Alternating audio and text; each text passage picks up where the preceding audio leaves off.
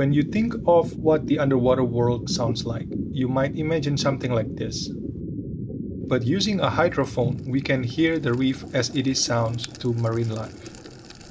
This might sound like your headphones are broken, but just like a forest, each sound has its own story. There's a fish clicking and grunting to attract mates or mark their territories crabs and shrimp snapping as they communicate and hunt, and the gentle rhythm of the tides in the background. You can actually identify a reef just by listening to it, as its unique shape and mix of species can function as an acoustic fingerprint. A wide array of marine life, including coral larvae, relies on these sounds to find their way back home or a place to settle.